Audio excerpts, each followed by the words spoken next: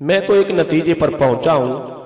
قرآن پاک کو اگر سمجھ سمجھ کر ٹھہر ٹھہر کر پڑھا جائے تو ایسا ہی محسوس ہوگا جیسے قرآن ہم سے باتیں کر رہا ہے۔ تو ایک روبائی ہمارے بزرگ تشریف فرما ہے دعا لینے کے لیے۔ بے زبانوں کو جب وہ زبان دیتا ہے اگلے مصر تو جڑا عمل کردہ ہوئے گا، شہادت انگلی بلند کر کے بولے گا، سبحان اللہ۔ بے زبانوں کو جب وہ زبان دیتا ہے، پڑھنے کو پھر ان کو قرآن دیتا ہے۔ اور بخشنے پہ آ جائے گر امت کے گناہوں کو توفے میں پھر ان کو رمضان دیتا ہے۔ اللہ جل شانہ فرمایا، اِنَّا انزلناہ فی لیلت القدر ہم نے اس قرآن کو قدر والی رات میں نازل فرمایا۔ اب توجہ فرمائے تو پتا چلے گا۔ ہمیں پتا نہیں ہے۔ لفظ ہم میں کون کون آتا ہے؟ اللہ فرما رہا ہے، ہم نے اس قرآن کو لیکن حضرات، لفظ اس بتا رہا ہے کہ قرآن اس کے علاوہ بھی ہے۔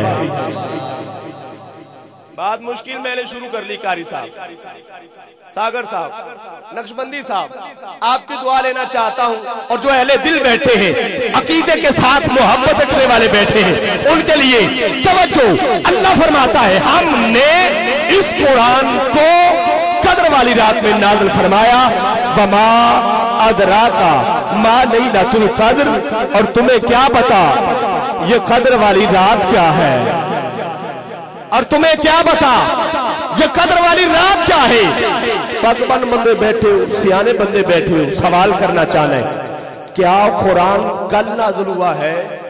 بولیے، سر نہ ہلائیے، منہ ہلائیے، زبان ہلائیے۔ کیا قرآن کل نازل ہوا ہے؟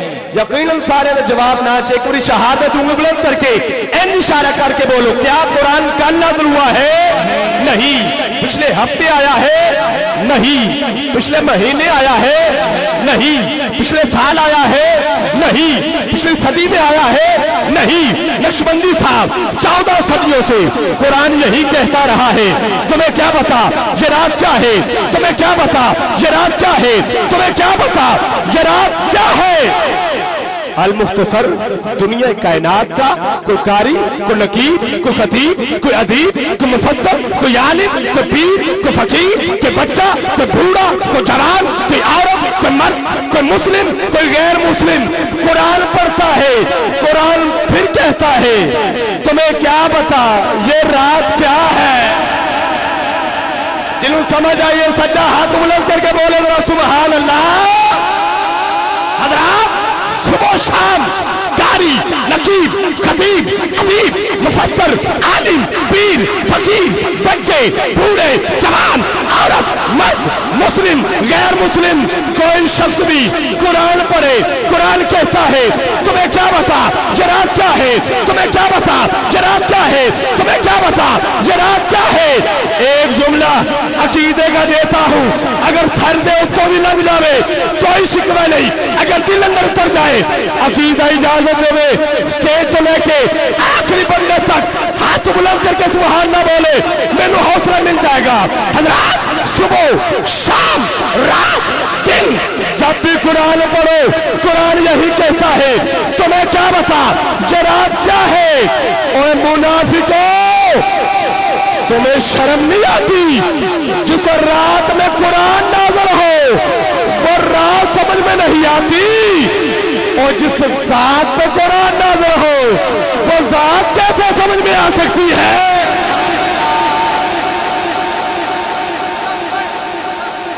جس رات میں قرآن نازل ہو، وہ رات سمجھ میں نہیں آتی۔ جس ذات پہ قرآن نازل ہو، وہ ذات کیسے سمجھ میں آ سکتی ہے؟ المختصر، سارا قرآن الحم کی الف سے لے کر بناس کی سین تک میرے نبی کی شان میں نازل ہوا ہے۔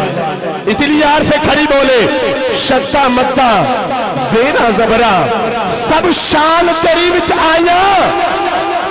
آما لوکاں خبر نہ کائی، تے خاصا رمضہ پائیا سیف نقابہ دیکھوں تو کہنے پر مجبور ہوں، حضور مکے میں ہے تو ذکر قرآن کے اندر۔ حضور مسجد نبوی میں ہے۔ تو ذکر قرآن کے اندر۔ حضور سفر میں ہے۔ تو ذکر قرآن کے اندر۔ حضور حضر میں ہے۔ تو ذکر قرآن کے اندر۔ حضور یاروں میں ہے۔ تو ذکر قرآن کے اندر۔ حضور غاروں میں ہے۔ تو ذکر قرآن کے اندر۔ حضور چاروں میں ہے۔ تو ذکر قرآن کے اندر۔ ہاں ہاں حضور نمازوں میں ہے۔ تو ذکر قرآن کے اندر۔ حضور یاروں میں ہے۔ تو ذکر قرآن کے اندر۔ حضور سواری پر سوار ہے۔ تو ذکر قرآن کے اندر۔ حضور پہاڑ پر ہے۔ تو ذکر قرآن کے اندر۔ ذرا سبحان کی صداؤں کو بلند کرنا۔ حضور کے حسن کا ذکر بھی قرآن کے اندر۔ توجہ حضور کے حسن کا ذکر قرآن کے اندر حضور کی صورت کا ذکر قرآن کے اندر حضور کی سیرت کا ذکر قرآن کے اندر حضور کی صورت کا ذکر قرآن کے اندر حضور کے ہاتھوں کا ذکر قرآن کے اندر حضور کے بولنے کا ذکر قرآن کے اندر حضور کی زبان کا ذکر قرآن کے اندر حضور کے سننے کا ذکر قرآن کے اندر حضور کے دیکھنے کا ذکر قرآن کے اندر حضور کی زلفوں کا ذکر قرآن کے اندر، چلنے کا ذکر، قرآن کے اندر، حضور کے بیٹھنے کا ذکر، قرآن کے اندر، ذرا سبحان اللہ کی صدا کو بلند کرنا۔ حضور کی اہل بیت کا ذکر بھی قرآن کے اندر۔ ایسے نہیں ہاتھ بلند کر کے فخر سے بولو سبحان اللہ۔